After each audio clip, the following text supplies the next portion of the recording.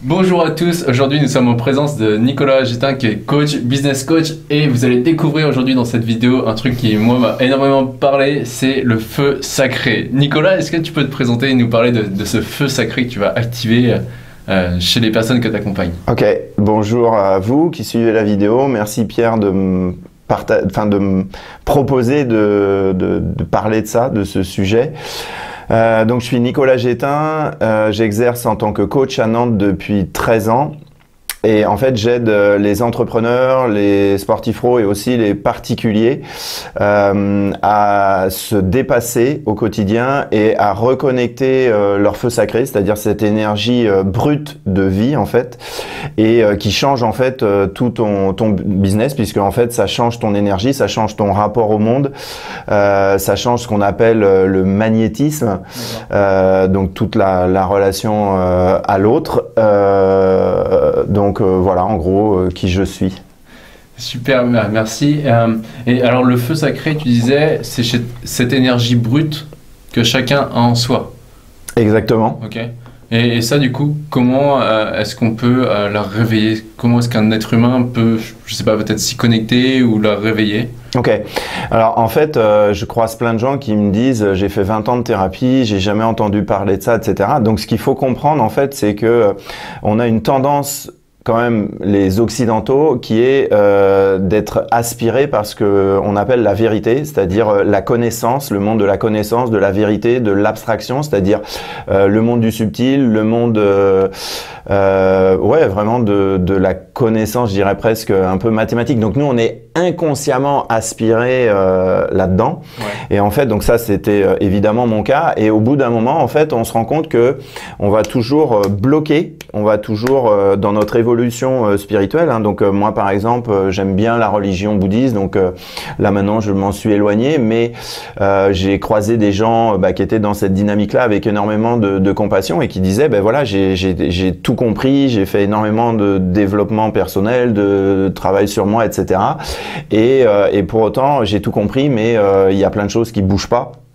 Et en fait, donc c'est en fait sur ce chemin, on va dire, de retour à qui on est, qu'à un moment, euh, il va falloir vraiment comprendre et, et, et, sortir de cette aspiration qui est inconsciente. Donc c'est inconscient, on va on, la tendance au perchage en fait.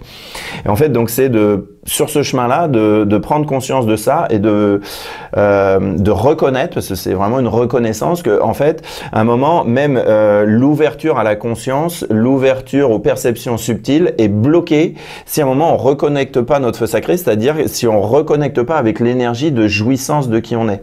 Donc c'est un moment, euh, ce qui va faire que du coup on, on, on évolue. Euh, donc ça faudrait peut-être préciser dans la vidéo, mais c'est qu'en fait c'est on va être à l'équilibre entre cette énergie du bas qui est l'énergie de jouissance de qui on est et euh, j'ai envie de dire l'énergie ou la conscience de vérité. Euh, qui sont euh, voilà deux niveaux différents entre l'énergie qui euh, qui nous touche du bas, qui nous voilà et l'énergie et la conscience du haut. Ok. Alors moi, dans ce que tu, ce que tu m'as dit, ce qui m'a vraiment interpellé, c'est euh, tu as parlé de reconnaissance, mmh. comme si euh, on devait se reconnaître et finalement se reconnecter à qui on est. Est-ce que là-dessus, euh, tu peux en dire plus En fait, finalement, c'est c'est quoi être soi finalement et qu'est-ce que ça permet d'être soi? Ok. Et, et peut-être qu'on n'est pas finalement soi. Ok, bah exactement en fait. En fait, euh, notre chemin, ce que je dis toujours à, à, à mes clients, c'est qu'en fait, c'est euh, être humain, ça a deux, ça a plein de caractéristiques, mais à mes yeux, il y en a deux qui dominent et qu'on retrouve un peu tout le temps. Un, euh, c'est l'inconscience, donc inconscience, ignorance. Inconscience, ignorance. Et deux, c'est la faillibilité. Donc ça veut dire pour répondre à, à la question, c'est qu'en fait, comme on est dans l'inconscience à la base, euh, ben, du coup on ne sait pas qui on est. Tu vois. Et donc en fait euh, bah il y a ce voilà il y a il y a repérer ça et que en fait c'est pas parce que dans notre nature d'humain on est inconscient qu'on est obligé de le rester puisque il y a cette partie euh, ce qu'on appelle cette conscience supérieure ou qu'on peut appeler euh, autrement hein. mais euh, comment?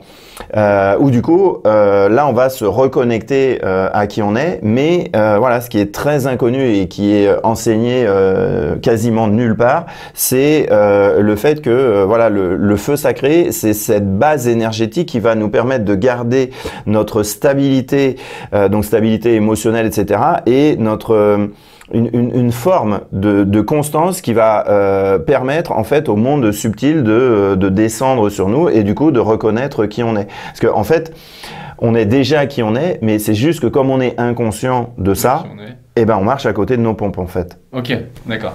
Et, et, donc la personne, lorsqu'elle euh, euh, reprend de plus en plus conscience, parce que la question qui me venait aussi c'est est-ce qu'on peut être pleinement conscient de qui on est?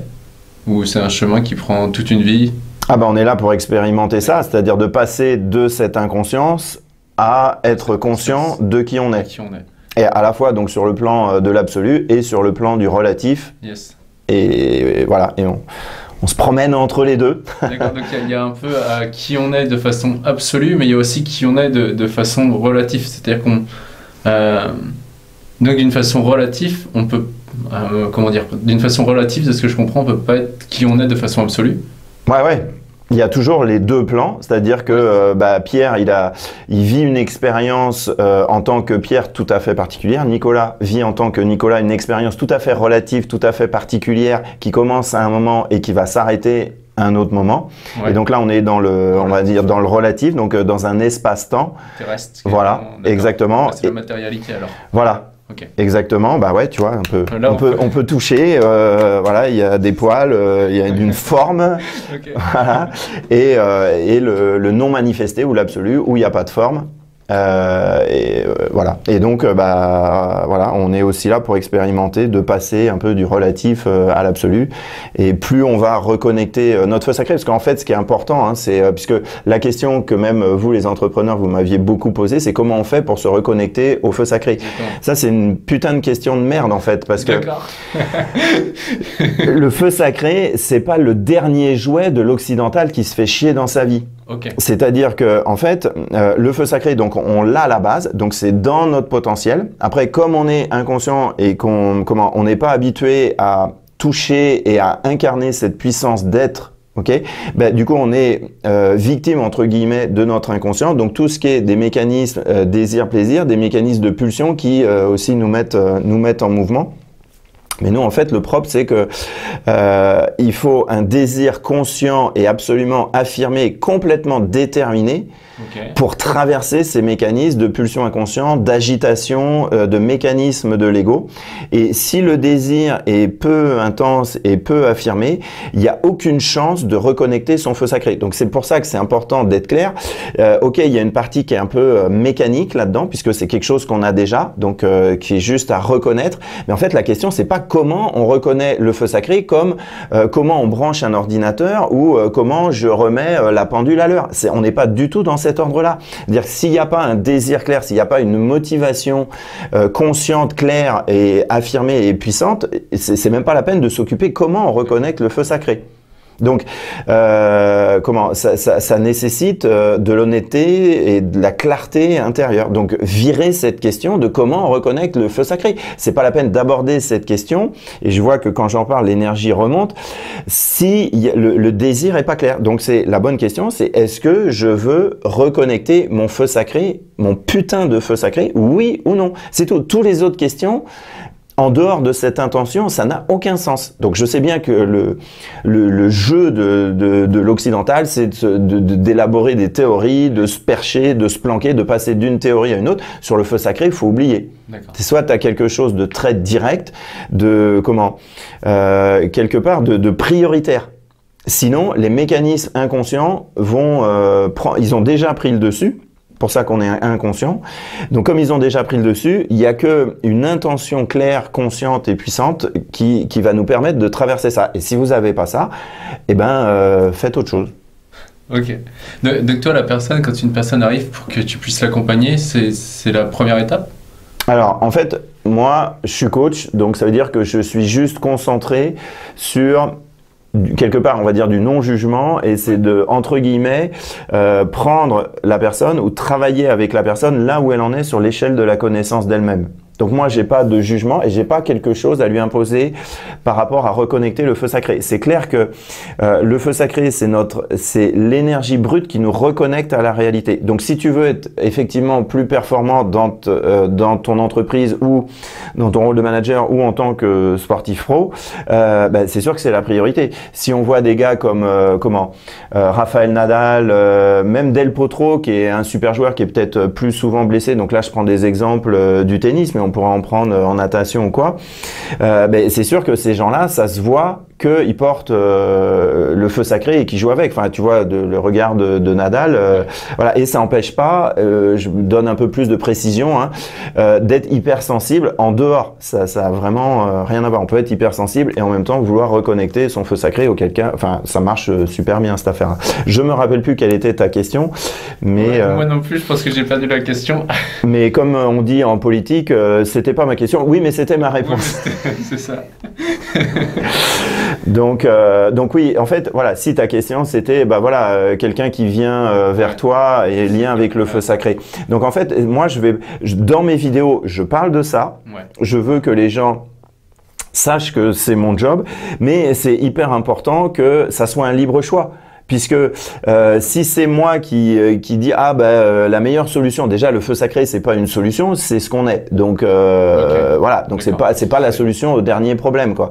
Donc comment c'est pas à moi de, de, dire ou de suggérer ce que la personne entre guillemets veut pour elle-même ou doit vouloir pour elle-même par contre, donc effectivement, je communique là-dessus. Les gens savent que, euh, que c'est mon job, que c'est ma spécialité, que, que c'est hyper kiffant de euh, de bosser là-dedans, de côtoyer des gens qui me demandent de faire ce job-là.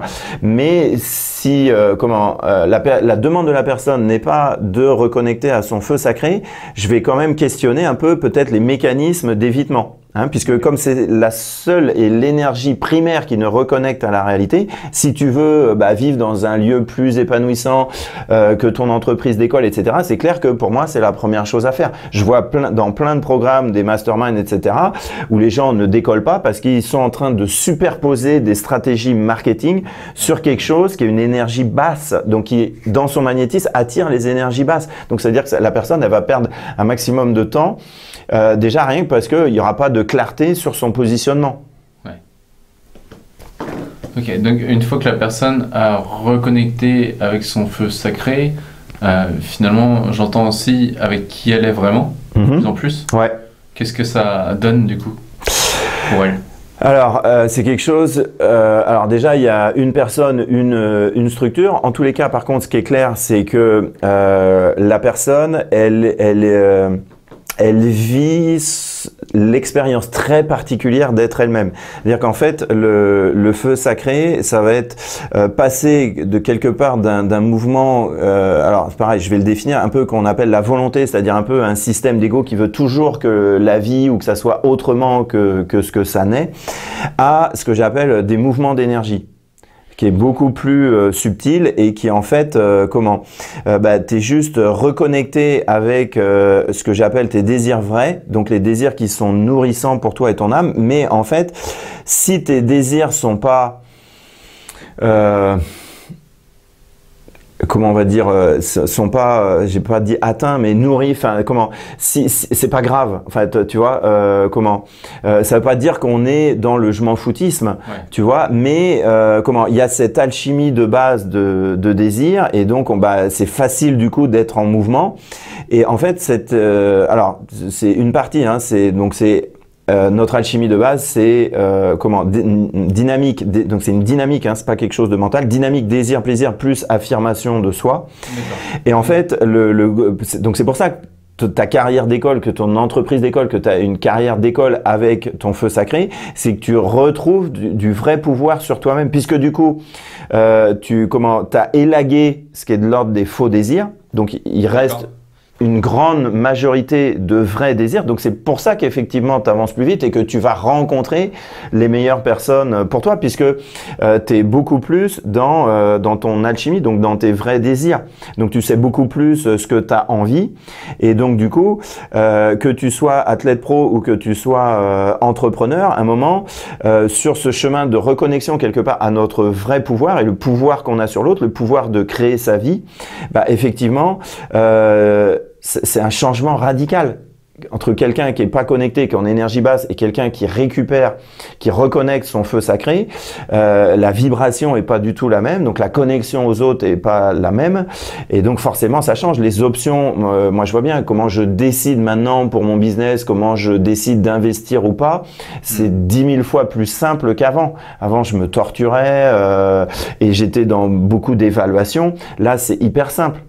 Donc, euh, vraiment, pour répondre à ta question, enfin, c'est ça qui est quand même hyper excitant, c'est d'avoir récupéré le pouvoir sur toi-même, de récupérer le pouvoir sur les mécanismes répétitifs, tu vois, et sur les histoires qu'on se raconte. Et du coup, c'est forcément, euh, voilà, beaucoup plus, euh, euh, beaucoup plus jouissif. Et comme du coup, comme tu vis davantage ton, ton pouvoir et que c'est, tu vois, j'ai beaucoup d'entrepreneurs, enfin, de moins en moins, mais eh, qui voilà, qui sont pas reconnectés à leur feu sacré, qui sont toujours avec la question ah mais moi je veux que ça ça soit juste, je veux que la manière dont je m'exprime soit juste, que mes offres soient justes. Eh mais t'en sais rien du tout. Tu vois, c'est juste euh, comment quand, quand tu es dans ton feu sacré, il y a quelque chose qui est doux et qui est puissant à la fois et que tu sais que de toute façon, tu veux expérimenter ça parce que donc c'est ça aussi un des gros avantages, c'est que du coup comme tu es en phase que tu as plus de ou beaucoup moins ou très peu de censure de tes vrais désirs. Donc du coup, c'était vrai désir. De tes vrais désirs. Ben ouais. Donc du coup, c'est pour ça que c'est fluide et que euh, comment et que donc du coup, euh, t'as plus de problème avec ton pouvoir dans la vie, donc ta capacité à créer ta vie. Donc t'as plus de pouvoir avec comment les autres créent leur vie. Ok. Ouais. Ah ouais, c'est juste quand même énorme. Donc c'est-à-dire que quand tu reconnais, euh, avant d'être connecté au feu sacré, tu peux, ou les entrepreneurs ou les personnes en général peuvent censurer leur vrai désir, c'est ça? Bah oui. Carrément. Des interdictions, de la culpabilité, euh, de comment, euh, tu vois, toute la puissance de l'énergie sexuelle qu'on va mettre de côté. Enfin, tu vois, culpabilité. Enfin, on, est, euh, mm. on est plus que nourri de ça, avec le fait que si je suis super content de faire ce que je fais au quotidien, tu vois, ça, ça, ça passe pas bien, quoi. Ouais ça passe pas bien globalement. Donc euh, voilà. C'est vrai que lorsqu'on se reconnecte à, ce feu sacré, bah après la personne elle va juste là où c'est juste pour elle finalement. Sans se poser la question. Pourquoi Parce qu'elle sait que de toute façon, elle est, elle est, c'est conscient, elle est prête à entre guillemets euh, payer le prix d'un certain euh, rapport au monde, euh, parce que de toute façon, c'est ça qu'elle veut vivre et c'est juste non négociable. Et au final, elle devient, enfin, comment je passe ça, devient plus en mode, ok, vous, vous pensez ce que vous voulez, faites votre vie, et moi je suis la mienne. Mais voilà, c'est ça. Donc c'est-à-dire, on voit, tu le sais très bien en tant qu'entrepreneur et tu débloques les entrepreneurs. Donc à un moment, tous les trucs, toutes les peurs et j'ai peur de mon pouvoir et j'ai peur de euh, si je gagne plus d'argent, euh, des réactions de mon environnement, euh, etc., etc. Enfin, tu vois, tous les trucs qui bloquent énormément, qui bloquent l'action, qui bloquent la créativité. Ben, forcément que si tu changes ça, c'est un changement radical, évidemment. Ok, donc toi, ce que tu permets aussi, les personnes quand elles se reconnaissent, reconnectent à leur feu sacré, c'est à un moment, elles ont leur vrai désir profond, cette aspiration en fait. Ouais. Et du coup, est-ce que, euh, selon toi, je sais pas, est-ce que chacun est ici et, chacun est différent avec des missions différentes, des talents différents. Ah oui, puis je pense qu'on a encore beaucoup de choses à découvrir de ça. Quand je me suis intéressé euh, avec une Canadienne dont c'est le métier de comment, euh, pour ceux qui veulent savoir, c'est j'ai fait un stage avec elle. Elle s'appelle France Gauthier. C'est on va dire une guide spirituelle qui a beaucoup exploré la mort et euh, le, les missions de vie. Et elle, elle appelle ça pour pas que ça soit repris par l'ego le mandat de vie. Et donc j'ai acheté, ouais, le mandat de vie et c'est moins connoté, c'est moins chargé énergétiquement que, euh, que mission de vie qui est employée euh, par tous les gens qui savent pas de quoi il cause. Et donc, euh, en achetant son programme, en fait, j'ai vu qu'il y a, ben, c'est comme les dimensions ultimes de ce monde-là, c'est énormément de, c'est pas mental, et en fait, il y a énormément de, de possibilités et des, des gens qui vont faire des choses dans le silence, qui vont enseigner certaines choses de manière pas du tout classique, pas de, du tout de manière corporate, j'ai envie de dire. Moi, ça m'a ouvert euh, une grande, grande conscience de voir en fait euh, ouais, cette diversité de, de mandats de vie qui, qui est vraiment pas euh, mentale, qui est très très subtile en fonction du cocktail entre qui je suis et ce que je fais de ma vie, parce que euh, voilà, on est tous qui on est, on peut en avoir conscience ou pas, et il y a ce qu'on fait de qui on est, c'est-à-dire comment on développe notre potentiel. Et du coup, en suivant le, le programme de, de France, j'ai été vraiment bluffé de euh, des choses qui peuvent se passer dans la présence, dans le silence. Ça, je le savais déjà avant, mais en lien avec la mission de vie et comment certaines personnes font passer des choses, et que c'est une mission de vie qui est pas forcément rémunératrice. Euh, c'est juste bluffant, mais c'est inimaginable en fait tous les mandats de vie, toutes les missions de vie qu'il peut y avoir. C'est inimaginable.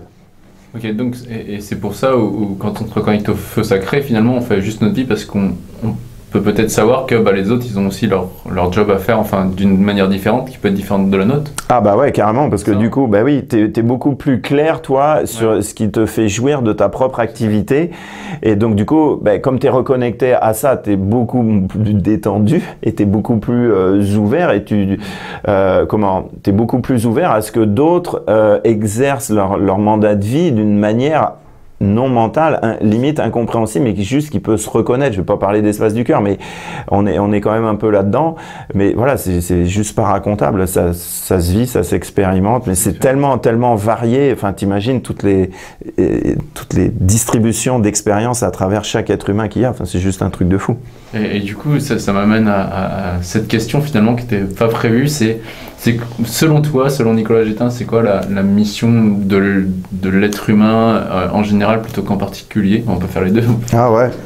Ouais, je suis pas très original là-dessus. J'aime bien ce que dit Eckhart avec deux niveaux de mission, avec une mission d'être qui est prioritaire, qui est de reconnaître qui on est. Donc euh, justement passer de notre inconscience d'humain à la conscience de qui on est. Euh, et après des, une mission de faire tu vois, donc euh, qui lui, comme il dit, j'adhère à ça, moi, euh, ça fait sens à mes yeux. Donc la première mission, c'est de reconnaître euh, qui on est, donc de sortir de l'ignorance, comme je dis toujours. comment En fait, pendant un, un, long moment dans notre vie, l'être humain passe son temps à nettoyer sa prison, c'est-à-dire il est sur une prison inconsciente. Des mécanismes justement inconscients et des mécanismes de l'ego, donc les mécanismes de protection qui nous protègent de vivre la réalité, donc la réalité de qui on est. Et euh, comment Donc en fait, comme on est inconscient de ça, on, passe juste nos temps avec nos petits désirs et nos machins. En fait, tu vois, c'est juste de nettoyer notre prison. Et euh, comment Et en fait, la mission prioritaire, c'est de reconnaître qui on est. Donc la mission, tu vois, entre guillemets, n'est plus de nettoyer notre prison, puisque quand on va sortir de prison, les règles qui sont en dehors de la prison ne sont pas les mêmes que dans la prison. Et donc, euh, ben voilà, on passe un temps euh, juste pas possible euh, à essayer de nettoyer notre prison, alors qu'en fait, ce qu'on crève d'envie, c'est de reconnaître qui on est et de sortir de la prison avec de la liberté, évidemment. Et donc notre façon d'être au monde ou notre voilà la manière dont on, on, nettoie sa prison ou dont on a le désir ferme et entier, hein, je insiste encore là-dessus, de sortir de prison, c'est pas on s'y prend pas de la même manière. On s'y prend pas de la même manière. Et du coup, quand on ressort de prison, on est face à un, potentiel infini de choix. Choix de dire oui, choix de dire non, choix de faire petit, choix de rester dans le silence, choix de faire du bruit, choix des, milliers de choix euh, tous les jours. Et en fait, ben là, du coup, euh, voilà, on est face à notre pouvoir créateur. Et du coup, c'est quand même plus que jouissif d'avoir de la clarté sur ce qu'on a envie de faire et sur ce qu'on sait faire. Donc, euh, du coup, après, pour moi, il y a une deuxième mission qui est de l'ordre du faire et de, voilà, de faire ce qui nous rend joyeux au quotidien, euh, faire des interviews euh, et puis travailler aussi avec euh, les gens qui ont envie et besoin de travailler avec nous et nous d'être dans l'envie de travailler aussi avec les, gens avec qui on est super content de travailler quoi. Voilà, donc je dirais, voilà, j'ai zéro originalité là-dessus, mais j'adhère à ce que dit Eckhart Tolle là-dessus. Moi, ça m'a encore ouvert à, chaque fois qu'on parle à, à d'autres choses. Et et la question du coup qui, me venait, c'était qu'est-ce qui fait selon toi, du coup on sort un peu du, cadre de l'intérieur. Vas-y, vas-y. Qu'est-ce qui fait selon toi que euh, quelle est l'intention en étant dans cette prison finalement? Pourquoi on est venu dans une prison et chercher à la nettoyer? Euh, Alors si je peux reformuler peut-être ta question, c'est euh, qu'est-ce qui fait qu'on est qu'on cherche à nettoyer notre prison? Ou quelle est l'intention nous envoyant, entre guillemets, entre, en prison? Ok. Ben, déjà, je pense que comment, euh, puisqu'on parle de ça, c'est, je pense que en fait, les gens qui te suivent, ils sont dans ce, dans ce désir d'ouverture là, et, et, du coup, je pense que oui, c'est bien que euh, c'est bien que tu ailles là-dedans. Euh, alors, en fait, pour la faire très court, euh, parce que c'est pas possible d'être exhaustif comme ça en cinq minutes là-dessus, mais en gros, l'être humain a une peur panique de ses instincts, donc de cette, cette, puissance, donc de notre énergie animale, mais pas que, hein, minérale, végétale, mais en gros, on a une peur panique de ça. Donc, en fait, on a une peur, on a une blessure par rapport à l'amour originel, donc ça fait double dose. Et donc le moyen pour ne pas souffrir au quotidien de cette double dose, c'est euh, d'inventer un personnage qui va euh, créer des circonstances pour éviter de souffrir de ce manque d'amour et euh, d'avoir à affronter en fait nos instincts. En fait, il n'y a rien à craindre, mais comme on ne le sait pas, eh ben, on préfère rester là-dedans. Donc, on va chercher un maximum de connus dans nos vies, donc un maximum de contrôle sur euh, sur plein de choses qui va nous euh, demander énormément d'énergie. Donc c'est pour ça que ça finit en burn-out et que le nombre de burn-out il augmente euh, et que c'est pas fini. Euh, donc du coup, tu vois, pour ne pas revivre entre guillemets ces blessures-là, on va chercher à mettre tout un tas de connus partout. Tu vois, d'aller 40 ans au même endroit de vacances. Euh, tu vois, de faire tout un tas de choses comme ça. Euh, comment Alors qu'en en fait, euh, juste la, la, vie qui se manifeste de manière tellement dépouillée, tu vois, elle, elle veut juste expérimenter ça. Alors c'est puissant, certes, mais du coup, la vie c'est que de l'inconnu. Comment tu peux, tu vois, tu peux choisir d'être qui tu es à, à chaque instant, et euh, tout ça c'est de l'inconnu. Mais du coup, dans l'inconnu, faut accepter qu'on va être touché et que du coup, il peut y avoir notre, notre vulnérabilité peut être euh, challengée et touchée.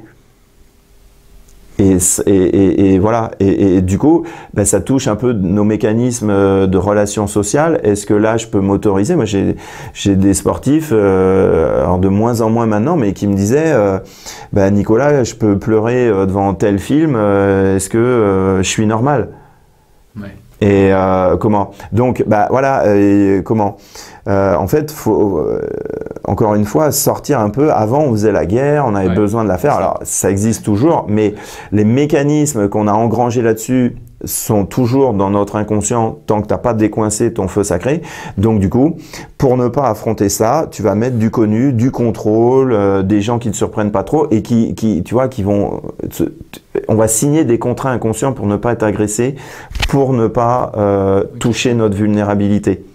Hmm. Ok, et donc du coup, on va rencontrer des gens bah, qui euh, ne touchent pas notre vulnérabilité. Et à un moment, on se fait chier, il se passe plus rien. Et, et, dans tes paroles, en fait, je me disais qu'il y a peut-être une époque après les, les, deux guerres où on était dans une société vraiment basée sur le paraître. Et j'ai l'impression que petit à petit, les nouvelles générations bah, commencent à être plus sur l'être et, et être soi finalement. Ah mais ouais, putain, les enfants qui arrivent là, ils ont une... c'est juste, c'est juste dingue. Bah, nous, on a fait du job, on ouais. s'est nettoyé et tout, tu vois. Donc, euh, euh, ceux qui arrivent derrière, ouais, moi, je les trouve bah, beaucoup plus réceptifs et beaucoup plus prêts à vivre l'énergie, enfin, que certains appellent l'énergie de réseau, tu vois. C'est-à-dire que là, c'est fini un peu, je fais mon truc, je fais mon machin. Maintenant, on est, on est en réseau, on sait que euh, tu bouges un petit, mm. une petite aile de papillon à un endroit, ça, ça, ça, ça bouge à l'autre côté de la planète. Tu fais une méditation sur le calme, il euh, y a moins d'actes d'agression dans la ville. Pourtant, ouais. t'as pas touché directement, tu as touché de manière subtile. Enfin bref, ouais. euh, voilà, tu vois. Donc, euh, comment Ouais, je sais plus quelle était ta, ta question. C'est pourquoi J'ai l'impression qu'on oui, ça s'ouvre, ben, c'est ça, mais c'est juste dingue. Voilà, c'est ça. Et du coup, ben maintenant, ouais, les les enfants qui arrivent maintenant là, ils sont ils, ils, ils sont mûrs pour vivre cette énergie. Ils sont vivre, ils sont mûrs pour vivre cette cette force d'incarnation, cette puissance de d'être. Euh, et, et, du coup, parce que nous aussi, on a nettoyé. Et, euh, et du coup, bah voilà, ils sont. Donc oui, oui le, le, le, changement, il est, bah voilà, tout le monde en parle, et l'énergie et la vibration, et il y a beaucoup de conneries aussi là-dessus. Mais effectivement, c'est un fait, quoi. Et ça va pas ralentir ce truc-là. Ça, c'est sûr, c'est clair. Mais c'est super. Hein. De toute façon, on a besoin de beaucoup d'énergie pour sauver la planète, donc il faut, ne, ouais, faut des clair. gens qui ne se censurent pas et qui, euh, qui, ouais, qui vont être engagés à vivre leur vie sur la planète. Ouais, ça va faire du bien, ça. Cool, merci Nicolas. Et si vous voulez, euh, mettez en commentaire si vous voulez qu'on approfondisse ce sujet. Je pense que ça, ça vaudra le coup qu'on fasse vraiment un sujet. Euh, c'est ce que je sens aussi. Ouais. Ça. Euh, donc mettez-le en commentaire si vous en avez envie, de quoi vous voulez entendre Nicolas avec moi pour pouvoir parler. Et Nicolas, enfin, la question que j'ai envie de te poser et que je pose souvent lorsque je fais une interview, c'est c'est quoi ton rêve? C'est quoi ta vision de la vie, de la, Terre Ah euh, alors, j'ai pas moi de, de, grands rêves, si ce n'est de comment euh, de juste vivre l'instant euh, tel qu'il doit être vécu. Après, moi, j'ai mes propres expériences, on va dire humaines, à tu vois, à traverser. Mais en fait, il y a une je vais être un peu ésotérique parce que j'ai essayé d'être très concret, mais euh, comment je, me sens branché en fait à une forme de, sagesse naturelle en fait où j'ai juste besoin d'écouter en fait. Donc euh, j'ai pas plus de, de rêve que ça, euh, si ce n'est que euh, de, de, goûter chaque jour en fait cette, euh, cette connexion là, euh, puisque je sais que voilà mon mon feu, il y a juste, euh, entre guillemets, à le laisser brûler. Hein. Il y a à le reconnecter et après, euh, comme je disais, là, il y avait des gens qui, me demandaient, ah ben Nicolas, c'est la rentrée, etc. Mais euh, voilà, il y a plein de gens où je suis dans un environnement pas terrible. Comment faire pour que le feu sacré soit pas impacté par ça? Mais si, notre feu sacré, il est en relation avec l'extérieur, même si c'est de l'intérieur. Donc, bah, vivre en France ou vivre en Syrie ou vivre au Japon où tu as des super explosions sismiques, bah, ça va pas être la même réalité. Et je, je tu vois, c'est c'est pas une barre de protection euh, pour ne plus souffrir. Le feu sacré, c'est pas ça du tout. Mm. Donc, euh, comment euh, C'est juste explorer ma vie de Nicolas et continuer ça. voilà, avec juste ouais la joie de l'instant, la présence à l'instant et, juste toujours avoir cette excitation. Je me lève, c'est quoi qu'il y a après ma couette, c'est quoi qu'il y a après mon livre. Enfin, tu vois, c'est extrêmement simple en fait. d'instant en instant en fait et euh, voilà. Donc euh, et après bah, peut-être tu vois je vais re-rencontrer des mécanismes en fait tu vois un petit peu bloquants. Euh, tu vois bah, du coup je oui je pense que mon, mon désir ça va être toujours d'intégrer ça de le et, s'il y a besoin de transformer de, de transformer quoi. Mais mais franchement euh, euh, c'est une telle jouissance d'être qui on est quand tu as reconnecté ça que les désirs vers l'extérieur sont super réduits quoi. Tu vois là pour moi c'est riche de faire une vidéo avec toi. Tu vois du coup toi tu penses à d'autres choses que que t'avais pas prévu. Donc en fait tu vois ça évolue tout tout naturellement. Tu vois? Et donc euh, comment? Euh, bah, pour moi, tu vois, j'ai juste envie de, de, de, de, savourer ça et de, voilà, comme disent certains de mes coachs, de ces vacances, c'est les vacances, quoi. Le feu sacré, tu connectes à ton feu sacré, la vie, c'est les vacances. La vie, c'est les vacances. Donc, il y a les, les, vraies vacances où, du coup, t'as pas les, les, contraintes du boulot. Et moi, je kiffe tellement mon job que, euh, bah, là, je recommence à bosser ce matin. C'est les, c'est d'autres formes de vacances. Tu vois. Mais là, c'est super, tu vois. Enfin, le, j'ai hâte de rencontrer d'autres personnes comme toi, tu vois où du coup on, va se laisser guider tout en étant positionné. Euh, c'est juste euh, trop, trop jouissif, quoi. Je veux rien vous vendre, hein, mais franchement, je peux pas dire autrement, quoi. on sent l'enthousiasme ah qui est juste à côté. Euh, et, ce que j'ai trouvé super intéressant dans ce que tu as dit, c'est que moi, je rencontre souvent des, des, thérapeutes ou, d'autres personnes enfin qui voient les thérapeutes comme des gens qui n'ont pas de blocage ou des thérapeutes des fois qui culpabilisent de dire ah mais attends j'ai des blocages je devrais pas en tant que thérapeute et ce que tu as dit c'est euh, j'ai parlé avec mon coach tu vois donc enfin t'es coaché moi je suis coaché et euh, c'est pas parce qu'on est là à parler de jouissance et tout que nous, à notre niveau, on n'a pas. Euh, on est blanc comme neige. Exactement. on serait plus dans ce monde. On est humain on est humain. Mais euh, vraiment, euh, là-dessus, je sais pas si tu as une, une, précision à apporter, que c'est pas parce qu'on est coach thérapeute qu'on euh, est tout blanc, tout. Ouais, ouais, Bah oui, je vais ramener ma gueule comme d'habitude, mais on a du stock, les amis. Faut arrêter. on a du stock. On a du, on a du stock de blocage de merde, des énergies basses, des machins. Enfin, c'est notre nature humaine d'avoir vécu des, des, siècles et des siècles dans l'ignorance. Donc, on a du stock. On sait pas ce que c'est que de vivre simplement et de jouir de qui on est. On a du stock. Donc après, moi, j'ai pas envie de vivre ce, ce stock stock-là. Ouais. Donc, bah, c'est pour ça que j'ai travaillé sur moi et que, et que je continue. Après, c'est juste que les, les mécanismes récurrents, répétitifs, tu vois, on va les, on va les voir beaucoup plus vite. On va pas se raconter d'histoire avec ça. Enfin, moi, de toute façon, je me raconte pas d'histoire. Voilà, c'est ça. Et puis, bah, après, voilà, on, hop, on, fait les, des petits ajustements conscients quand, quand il y a besoin. Mais bien sûr, on, on a du stock. C'est arrêtez de vous raconter des histoires. Même si tu es super thérapeute, t'as du stock. Voilà. Et, et je pense vraiment que tant qu'on sera dans, dans ce monde matériel, Mhm. eh ben, il y aura des, des problèmes ou des, des expériences à vivre finalement. Et Bah ouais. Bah, carrément. Bah ouais. Ok, top Nicolas, où est-ce qu'on peut te retrouver? Euh, alors ça bouge beaucoup dans mon, dans mon activité. Donc euh, j'ai un groupe Facebook qui s'appelle Feu Sacré et Business de Ouf. Donc vous pouvez trouver sur euh, Facebook, ma chaîne YouTube. J'ai un site internet qui, bon, qui correspond qui correspond plus trop à ce que je fais, qui s'appelle www.l'énergiedelagagne.fr Ok. l'énergiedelagagne.fr et euh, du coup comme là je suis vraiment branché euh, sur euh, feu sacré et business de ouf c'est le cas de le dire du coup mon nouveau site est pas encore en place donc il y, a- il y a ouais Il sera sous la vidéo. voilà et il y a une page Facebook qui est Atypique Business Academy. Où vous pouvez me trouver, vous pouvez vous abonner à la page. euh, je, je mélange des trucs très business et très humains, très euh, feu sacré. Ok, super. Et si tu avais une intention, enfin, pour les gens qui regardent, ce serait quoi? Une intention ou un message juste pour euh, conclure pour les personnes Ah, ça c'est dur d'avoir une intention, un message, un message. hyper court. pouf. Ah, euh, pff, euh, avec ça. pff, moi, en dehors du plaisir d'être qui on est, c'est tellement tellement la vague de jouissance que voilà. Donc arrêtez de vous priver de ça. Quoi. Franchement, Ouais, franchement, ça vaut pas le coup. ok. Ça vaut pas le coup. C'est pas nécessaire. Ok, super. Bah, merci, merci beaucoup, Nicolas. Euh, franchement, likez cette vidéo, partagez-la. Je, euh, je pense vraiment qu'elle peut faire la différence dans beaucoup de vies si vous la Ouais. reprenez et vous voyez les, les points qu'il y a bossé. Il y a eu énormément de contenu, donc euh, voilà. Euh, Nicolas, bah, du coup, on fera sûrement une deuxième vidéo.